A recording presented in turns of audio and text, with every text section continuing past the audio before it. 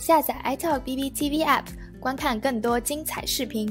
时间一晃来到了九月的中旬，秋意渐浓。由于六个月以来瘟疫对社交的限制，很多小伙伴们早已习惯了在家工作和学习，这让我们接触外界和其他人的机会变得很少。小编发现了一个有趣的现象，就是越来越多的单身的小伙伴们选择了 online dating，也就是网上约会。很多人开始通过下载不同的交友软件来认识新的对象、交友或恋爱。在过去的十年里，网上约会变得越来越受欢迎，现在已经成为美国情侣们认识。另一半的最普遍的方式。斯坦福大学人文与科学学院的一项研究发现，二零一七年百分之三十九的异性恋伴侣报告在网上相遇，而相比二零零九年，这一比例仅为百分之二十二。在致命的冠状病毒爆发期间，网上交友恋爱变成了一个罕见的亮点。这个可怕的全球事件在很多方面对人们的生活产生了负面影响，包括导致一些人极度孤独和与世隔绝。这场瘟疫大流行确实也改变了人们的约会生活，这也为给 Online dating 带来了一线新的生机。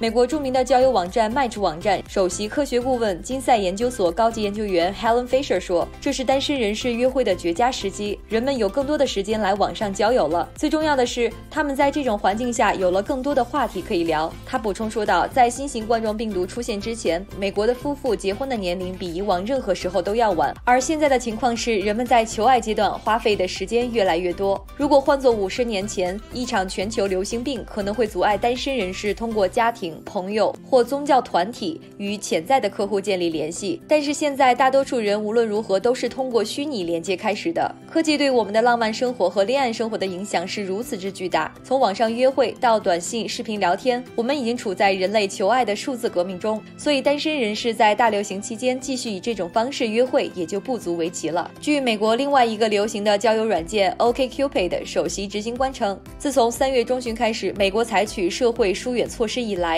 单身人士的参与度也上升了。该公司已经看到 OKCupid 用户数量惊人的增长了百分之七百。据四月一日的新闻稿报道，美国另一火热交友应用软件 Tinder 在三月二十九日看到了历史上最多的用户参加，超过三十亿用户在线。当然，并非所有人网上约会都是在寻找那种长期关系。很多单身的人可能是因为疫情爆发后很难应对独处，因为他们待在家里，想念日常生活和人际交往中的正常社交活动。所以今天的节目，小小编想要给大家推荐几个靠谱的交友软件，以便更好的让大家认识和挑选更多优质的对象。Match.com 不用小编多做介绍，相信很多单身人士们早已听说大名鼎鼎的 Match 网站。免费用户可以在网上建立个人档案，上传一些自己的照片，然后在网上用眨眼功能来告诉你通过照片和资料喜欢的心仪的对象，并且每天都有新的匹配对象送到用户手中。更全面的功能，比如付费项目，查看谁已经查看了你的个人资料并喜欢了你的照片，可以通过 Match 的网站订阅解锁。一般的共识是你需要一个付费的订阅来获得更多的交友好运。作为最早期。在线约会工具 Match 的付费注册功能意味着你要认真考虑安定下来，主要是针对往结婚方向准备的单身小伙伴们。小编和朋友们得出这样一个结论：如果你是付钱去约会的话，可能会帮助你找到更好的另一半。虽然应用程序有付费功能，但还不能证明花钱买爱情是值得的。但相对于其他交友 APP 来说，对象的稳定性和真实性，Match 还是当之无愧的。毕竟是老牌交友网站了。Coffee Miss Bagel，许多约会程序试图关注质量而不是数量，而咖啡遇见百吉。饼采取了相反的方法。每天中午，这个应用程序都会根据男性的个人资料和喜好，向他们发送一小部分潜在的匹配对象，然后向女性发送一系列对他们感兴趣的匹配对象。这样女性就可以进行类似的回复。如果这种吸引力是相互的，那么这个应用程序将为你设置一个七天的聊天窗口和打破僵局的方法。通过其付费功能，你可能查阅更多喜欢你的优秀对象，而且你的选择性也大大多于免费版本的运用。OKCupid 有人形容说，OKCupid 更像一个同。成约会中心拥有大量的用户群，OKCupid 并没有满足于现在的成就，而是不断改进和增加其顶级约会应用程序的功能，比如一个口味系统，允许用户快速查看潜在的匹配对象，趣味性和随意性要比 Match 多一些。OKCupid 的即时通讯工具、性格测试